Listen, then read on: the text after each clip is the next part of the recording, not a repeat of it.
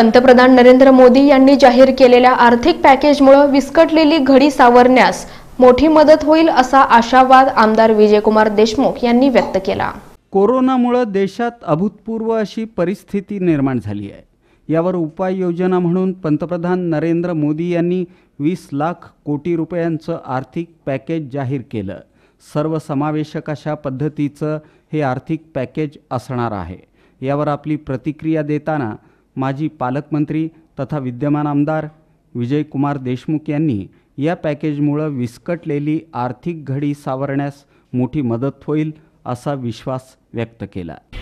या देशाला लॉकडाऊनमुळे जे काय आर्थिक फ फटका बसलेला आहे सर्वसामान्य माणसाला गोरगरिबांना सर लहान सहान व्यापाऱ्यांना आणि क मोठमोठ्या कारखानदारांना. त्यासाठी वीस लाख कोटी रुपयाचं त्यांनी पॅकेज जाहीर केलं. आज देशाचे अर्थमंत्री ते पॅकेज कुठल्या प्रकारे दिलं जाईल ह्याचा जाहीर करणार आहेत. मी खरंच या देशवासियाकडनं पुन्हा एकदा देशाची आर्थिक परिस्थिती आणि देशाची घडी पुन्हा एकदा बसण्यासाठी या मोठ्या प्रमाणात एवढ्या मोठ्या प्रमाणात पॅकेज आदरणीय नरेंद्रजी मोदींनी दिल्यामुळं त्यांचा आभार मानतो. कोरोनाशी इथं जो लढा सुरू आहे त्यात यंत्रणांमध्ये समन्वय दिसत नाही. क्वारंटाईन असलेल्या व्यक्तींची त्वरित तपासणी गरजेचं आहे. मात्र याला विलंब होतोय. परिणामी यातून संसर्ग वाढण्याची भीती आमदार विजयकुमार देशमुख यांनी व्यक्त केली.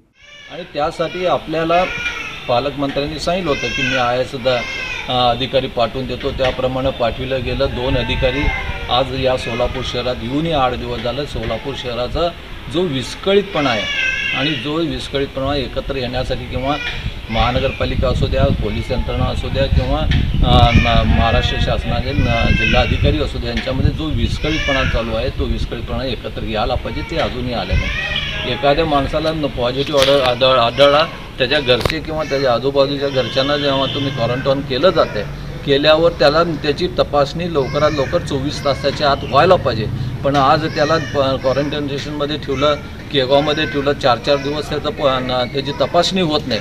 चार दिवसापर्यंत एखादा त्यातला ऋण एखादा पॉझिटिव्ह असेल तर तो सगळ्याला बाधित करतो. आणि अशामुळे ही संख्या वाढत चाललेली आहे. आशा वर्कर्स चांगल्या पद्धतीनं आपलं कार्य पार पाडतायत. मात्र तुटपुंज मिळणारं मानधन ही त्यांची समस्या असल्याकडं आमदार देशमुख यांनी लक्ष वेधत त्यांचा विमा देखील उतरवला जावा अशी मागणी केली. राज्यातल्या आशा वर्कर्सना ज्या घरोघरी जाऊन तपासणीचं काम दिलेलं आहे नोंदीचं काम दिलेलं आहे त्या आशा आशा वर्करना फक्त रोज चौतीस रुपये त्यांना भत्ता मिळत आहे मा असं त्यांची अनेक दिवसापासून मागणी आहे की आमचं मानधन वाढवा वाढवायला पाहिजे. मला असं वाटतं की त्यांना रोज पाचशे रुपये न मानधन मिळाला पाहिजे व तसंच त्यांचं इन्शुरन्स जे सगळ्यांना डॉक्टरांना आहे कर्मचाऱ्यांना आहे किंवा इतर पोलीस अधिकारी आहे किंवा कर्मचाऱ्यांना आहे तसं त्यांचंही इन्शुरन्स उतरायला पाहिजे. कारण ते स्वतः जाऊन प्रत्येक घरोघरी भेट देतात सातत्यानं नोंदी घेतात. आणि त्यांचं गेल्या अनेक वर्षापासून मी बघितलेलं आहे. काम एका प्रकारे चांगलं काम घरोघरी जाऊन नोंदी करणं किंवा तपासणं काम त्यांचं चांगल्या प्रकारे चालू असतो. त्यांचे त्यांच्याबद्दल मी शासनाला विनंती करतो की ताबडतोब त्यांचं भत्ता आणि त्यांच्यावर इन्शुरन्स करायला पाहिजे.